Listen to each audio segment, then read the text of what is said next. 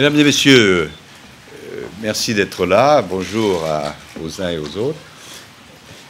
Euh, je suis euh, heureux d'être là avec mon ami et collègue William Hague. comme vous le savez, la France qui préside en ce moment le Conseil de sécurité des Nations Unies a décidé de réunir cet après-midi le Conseil de sécurité pour euh, traiter euh, essentiellement les questions humanitaires qui concernent la Syrie.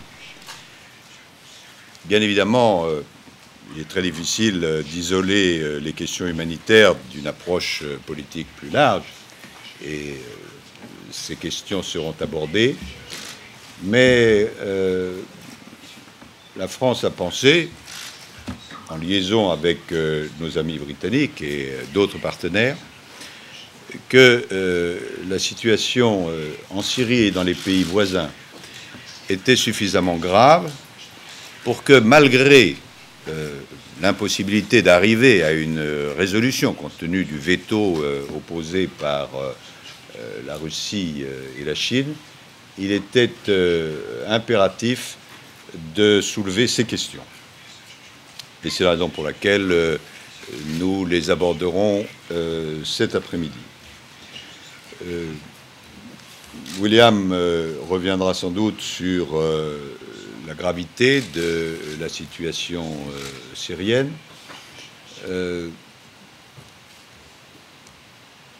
25 000 morts déjà, 250 000 blessés, plus de 300 000 réfugiés, et nous allons en particulier traiter ces questions. Euh, plus d'un million de personnes, beaucoup plus d'un million de personnes déplacées, une situation euh, intolérable et inacceptable, qui pose, euh, du point de vue humanitaire, beaucoup de questions. Beaucoup de questions à l'intérieur de la Syrie, car le droit humanitaire n'est absolument pas respecté. Nous le dirons cet après-midi d'une façon carrée et le représentant du clan Assad sera là, mais qui pose aussi beaucoup de questions aux pays voisins euh, qui doivent accueillir les réfugiés. Et euh, nous avons euh, invité, et ils sont là, je les remercie, les ministres des gouvernements qui sont le plus directement concernés par cet accueil, notre collègue turc, notre collègue libanais, euh, notre collègue jordanien et notre collègue irakien. Et donc nous allons aborder toutes ces questions euh, avec, bien sûr aussi, il ne s'agit pas d'avoir la langue de bois, une attention particulière aux questions politiques. Euh, sur euh, ces questions, euh, la Grande-Bretagne et la France, nous constatons, comme dans beaucoup d'autres domaines, ont des positions convergentes, voire même absolument analogues. Et c'est la raison pour laquelle nous avons souhaité, William Hague et moi-même, tenir cette conférence de presse. Et en même temps, nous avons pris ensemble un certain nombre de position, de décision euh, que euh, William Hague, euh, s'il en a convenance, vous détaillera. D'une part, en augmentant chacun, à la fois la Grande-Bretagne et la France, notre aide humanitaire, parce que l'humanitaire et les réfugiés, les blessés, ça demande des moyens financiers. Et donc, nous avons pris des décisions en ce sens. D'autre part, nous euh, prenons l'initiative conjointe euh, de faire en sorte que, au niveau des Nations Unies, il y ait une réunion rapide pour le financement des agences des Nations Unies, et en particulier avec nos collègues qui s'occupent du développement. Nous sommes d'accord l'un et l'autre pour euh, réaffirmer euh, que euh, Bachar el-Assad et son clan devront répondre de leurs crimes devant la Cour pénale internationale, devant la juridiction syrienne. Et en liaison avec cela, nous lançons un nouvel appel aux défections des responsables syriens qui doivent se séparer le plus vite possible de ce clan criminel. Et puis nous préparons euh, ensemble, euh, avec d'autres partenaires, ce que nous appelons euh, en bon français the day after, l'après Bachar, puisqu'il est évident qu'il faut coordonner à la fois notre soutien au peuple syrien dans la transition politique et préparer avec le peuple syrien les mesures immédiates pour les besoins les plus urgents. Si j'avais à résumer pourquoi cette réunion de cet après-midi, je dirais les choses suivantes. Pour témoigner des atrocités commises en Syrie, pour mettre chacun devant ses responsabilités, pour réitérer notre solidarité au peuple syrien et augmenter notre aide, pour manifester notre solidarité avec les pays voisins de la Syrie qui accueillent les réfugiés par milliers et par milliers, pour rappeler qu'il n'y aura pas d'impunité, pour encourager euh, les responsables syriens à faire défection, pour aider euh, l'opposition euh, syrienne à se fédérer, créer une transition et pour préparer l'avenir, c'est-à-dire l'après-Bachar. Thank you very much. Uh, thank you, a pleasure to be here in New York, and I'm grateful to my colleague Laurent Fabius and to the French government for convening this important meeting of the United Nations Security Council. Uh, today, the United Kingdom stands with France in calling for urgent and generous contributions from all nations to the United Nations relief effort. One and a half million people have been displaced inside Syria. Two and a half million are in need of urgent assistance. And the number of refugees in neighboring countries is growing day by day. Today stands at over 200,000. And despite this desperate need, the UN Relief Fund is only 50% funded. And so I am announcing today that the United Kingdom, already the second biggest donor, national donor to Syria's humanitarian crisis, will contribute an additional £3 million in aid to Syrian refugees on top of the £27.5 million we have already committed. And this will include £2 million to humanitarian relief agencies inside Syria and an additional £1 million to help NGOs working with refugees in Jordan, and in particular uh, supporting women who have been victims of sexual violence in conflict. These uh, new funds bring our total humanitarian support to Syrian refugees to £30 million. We call on other nations to increase their funding and on Security Council members to set a strong lead. And to that end, as you have heard, the UK and France will propose a meeting of development ministers with UN agencies in the coming weeks to encourage increased donations. Uh, we will also continue our work with the opposition from Syria, supporting follow up to the opposition's Cairo conference and its work to develop a transition plan and delivering the non lethal support that the UK has committed ourselves to provide, which is now beginning to reach those who need it. Our two nations are also determined to help hold to account those responsible for human rights abuses in Syria. We will support initiatives to bring the situation in Syria to the attention of the International Criminal Court, despite the many obstacles to this.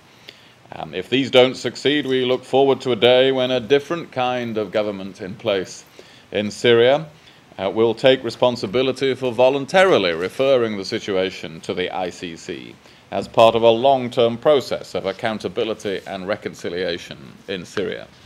So, those who continue to support Assad and his regime should think carefully about their position. Now is the time to step away from this regime and deny it moral and financial support. and we call on Assad supporters to distance themselves from the regime or face the increasing possibility in the future of being held to account for the regime's actions. We're also determined with our allies to make clear that any use of chemical weapons would be utterly unacceptable.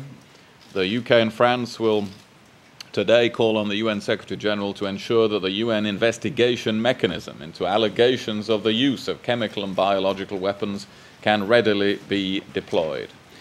Uh, we, key allies and members of the opposition, have been working on planning for a post Assad Syria, the day after, as Lauren has said, in which people can express their views freely and without fear of repression.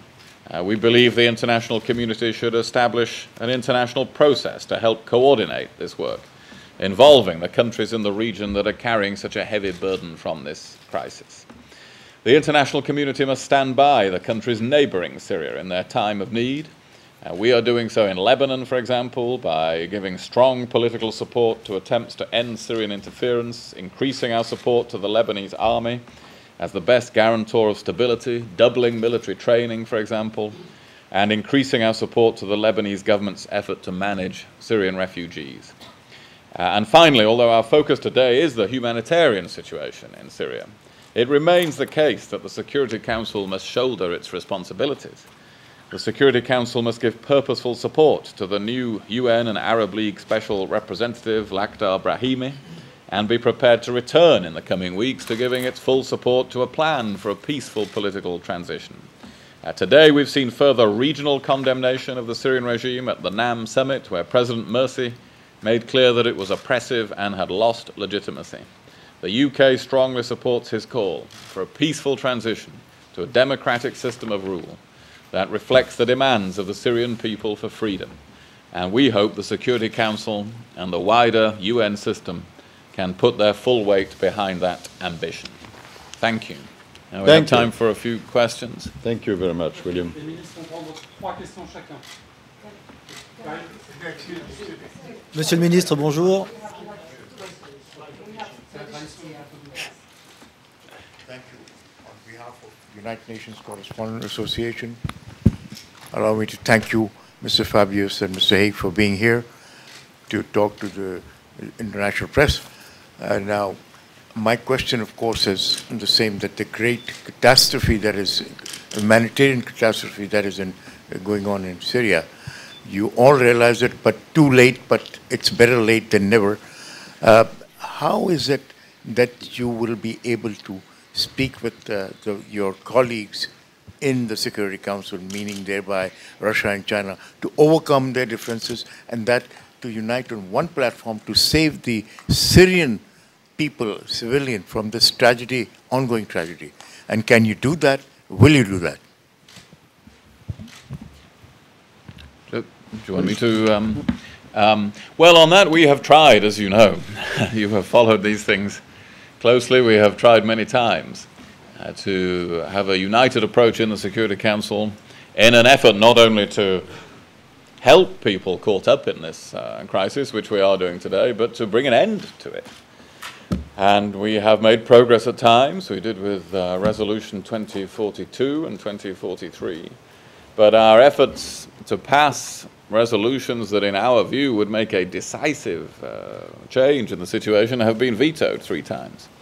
We continue our diplomacy with Russia and China. We never stop talking to, to Russia and to China about these things. But today, in the absence of agreement on requiring the implementation of the uh, of what was the Annan peace plan, which is what we argued for on the 19th of July, in the absence of that, we are focusing on doing everything else that we can uh, to help hundreds of thousands, millions of people caught up in a crisis that the United Nations Security Council has failed in its responsibilities to bring to an end. And so um, this does not indicate we are in any way weakening in that work and that objective. But in the absence of a solution, we have to do everything we can to help. Je voudrais aussi, euh, en faisant mienne les remarques euh, de William Hague, euh, ajouter quelques commentaires. Euh, S'agissant de la France, le message est clair et il s'adresse au peuple syrien. Assad va tomber Mais nous, nous ne vous laisserons pas tomber. Le Conseil de sécurité, euh, trois fois de suite, a été bloqué à cause du veto d'un certain nombre de puissances. Mais ce n'est pas parce que euh, a été bloqué euh, qu'il faut lui refuser tout rôle. C'est vrai qu'il n'a pas rempli, si on donne un prix au mot, son rôle. C'est le Conseil de sécurité des Nations Unies. Et il n'a assuré ni la sécurité ni l'unité. Mais William Hague, comme moi-même, comme d'autres collègues, nous pensons que la légalité internationale, c'est important. Et que le système des Nations Unies, c'est important. Et que ce n'est pas parce qu'il y a eu, il y a encore un blocage sur une résolution politique qu'on ne doit pas avancer sur le plan humanitaire. C'est pourquoi euh, j'ai décidé, au nom de la France, de convoquer ce Conseil de sécurité qui va essayer d'avancer autant qu'il le pourra. Euh, J'ai eu hier au téléphone, il m'a appelé euh, Sergei Lavrov, le ministre des Affaires étrangères de Russie, pour demander de l'excuser de ne pas pouvoir être là. Nous avons discuté du fond, nous allons rediscuter la semaine prochaine. Nous sommes en liaison avec euh, la Chine, mais nous sommes d'abord en liaison avec euh, ceux de nos partenaires qui pensent la même chose que nous, avec les Syriens et avec, avec leur résistance syrienne, et avec euh, les pays voisins. Et puis nous sommes en liaison avec euh, le nouveau euh, médiateur, M. Brahimi, que nous allons voir dans quelques instants, et qui, que j'ai invité pour qu'il puisse s'entretenir avec un certain nombre de ministres. Euh, c'est un travail difficile, il ne faut pas euh, le dissimuler, mais nous devons faire tout ce qui est en notre pouvoir. Et il faut que le peuple syrien, qui veut la paix, sache qu'il y a des nations, une majorité de nations, qui est à ses côtés. Voilà le sens de cette réunion. Une question pour Laurent Fabius. Est-ce qu'il n'y a pas une contradiction entre le fait de vouloir conserver la crise syrienne à l'ONU, comme vous le faites aujourd'hui, et les déclarations du président Hollande qui se dit prêt à reconnaître unilatéralement euh, un gouvernement euh, de l'opposition syrienne? Et, et enfin, comment expliquez-vous l'absence d'Hillary Clinton euh, à cette conférence aujourd'hui? Euh, sur la première de vos questions, non, il n'y a pas de contradiction. Euh, la France est respectueuse de la légalité internationale. Et le fait que, malgré les difficultés, nous ayons convoqué cette réunion ministérielle du Conseil de sécurité s'inscrit dans notre respect de la légalité internationale. En même temps, il faut faire bouger les choses. Et euh, l'un des moyens de faire bouger les choses, c'est une évidence, c'est qu'il faut euh, aider à ce que l'opposition se fédère. Ça ne dépend pas de nous, c'est aux Syriens à le faire, et ce n'est pas facile, puisqu'il y a des habitudes euh, séparées, il peut y avoir telle ou telle contradiction. Mais il est évident que euh, le clan, je ne parle pas de régime, je parle de clan, de Bachar el-Assad, joue sur cela pour le moment. Il dit euh, dans son attitude criminelle, oui, mais sans doute, c'est un euphémisme, y a-t-il des problèmes? Mais quel est l'autre terme de l'alternative? Et l'autre terme de l'alternative, évidemment, ça doit être une opposition largement unie. C'est pour ça que, par différents canaux, aussi bien ici qu'ailleurs, la France et d'autres pays, et c'est le cas aussi de la Grande-Bretagne, essayent de favoriser ce regroupement. Alors, euh, nous souhaitons qu'il soit le plus rapide possible, parce qu'on comprend bien que s'il y avait ce regroupement, s'il y avait une force alternative unie, évidemment, ça changerait la donne. Et ce que apporte en plus la France, c'est deux choses. Un élément, c'est que nous demandons que cette force alternative soit très large, euh, dans un français traduit de l'anglais, inclusive, inclusive. Et nous demandons avec force qu'elles garantissent le respect des différentes communautés. Il faut que les différentes communautés euh, qui sont en Syrie, euh, aussi bien euh, les chiites, les sunnites, les alaouites, les chrétiens et les autres, sachent qu'avec le nouveau régime, ils seront protégés, garantis. C'est très important.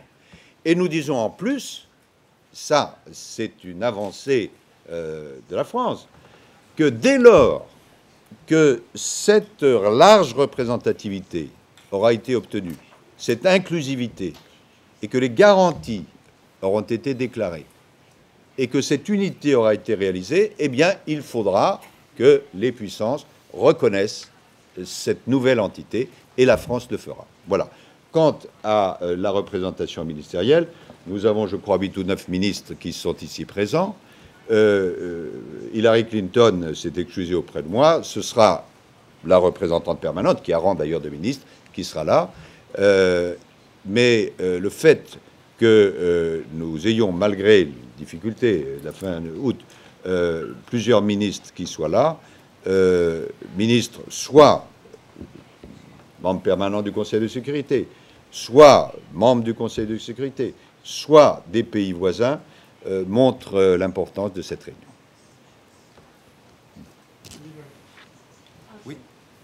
I- Yves Isard, France Inter, France Info.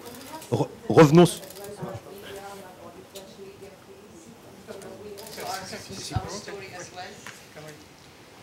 Oui, je vais reposer ma question. Euh, revenons à l'humanitaire. On a parlé des ponts, des zones tampons. La Turquie voudrait des zones tampons. Est-ce que c'est réaliste ou irréaliste, comme le dit Bachar al-Assad? Euh, je ne vous vois pas très bien. Euh, où, où êtes-vous? Ah, excusez-moi, très bien.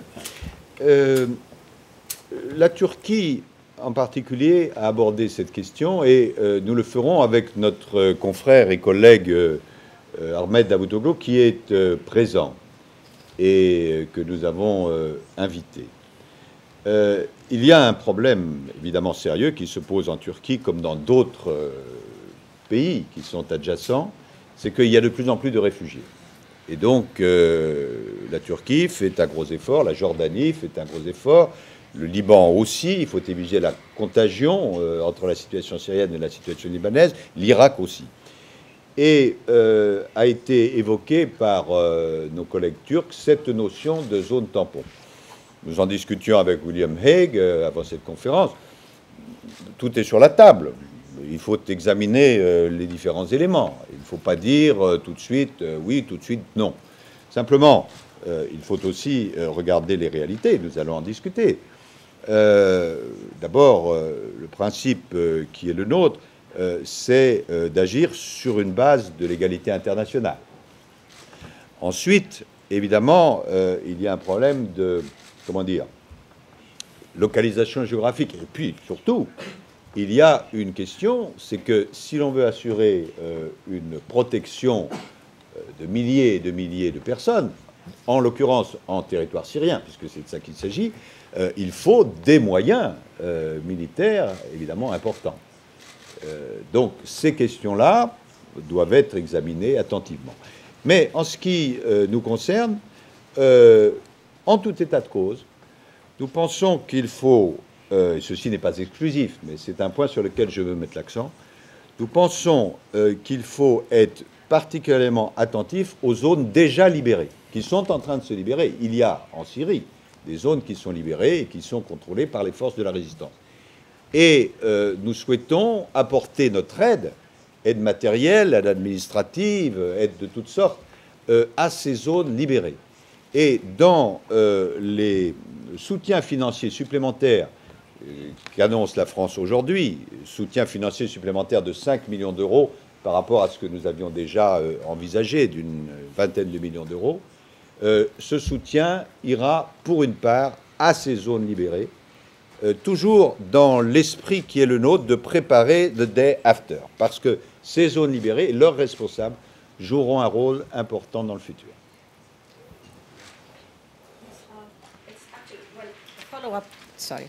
First of all, uh, Raghida Dargham of Al Haya, uh, a follow up on the buffer zones and then the question on Ibrahimi.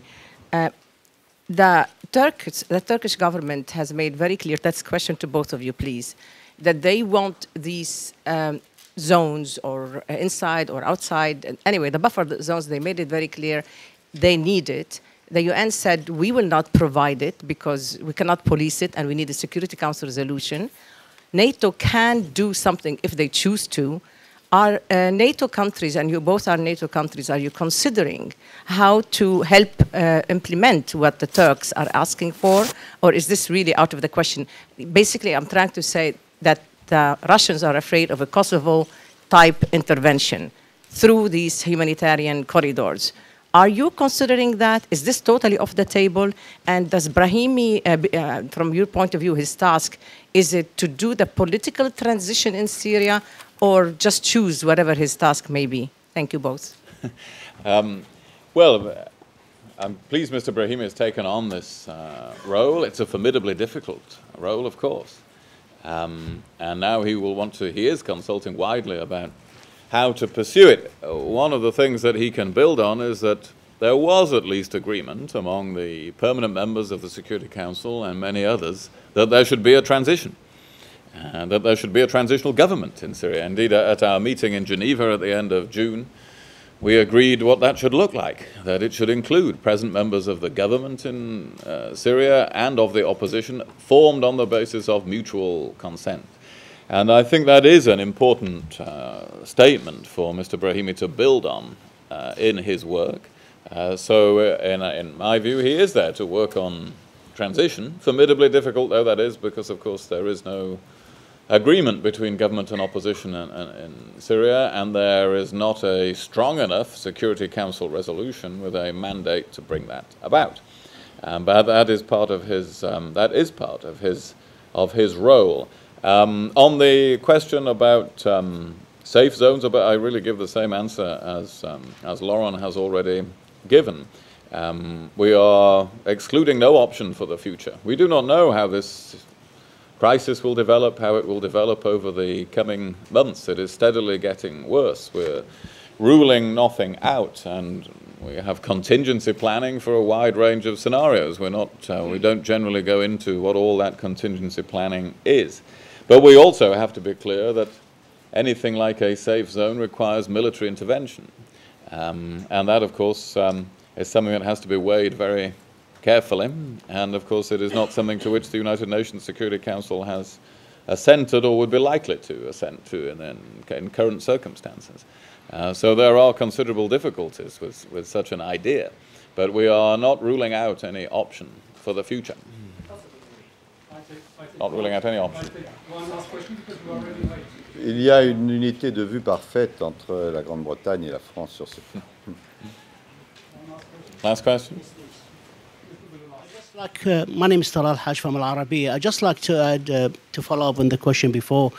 Uh, what would you say to the Syrian people, the refugees on the borders, the people who are suffering, and for, for whom you have con- convened this uh, um, conference, uh, this meeting of the Security Council, the very important meeting? What would you say to them when, you, when, when they tell you, we understand that you need a resolution to impose safe havens, uh, safe co- corridors, uh, uh, no-fly zones, but uh, uh, but in the case of Kosovo, you did not.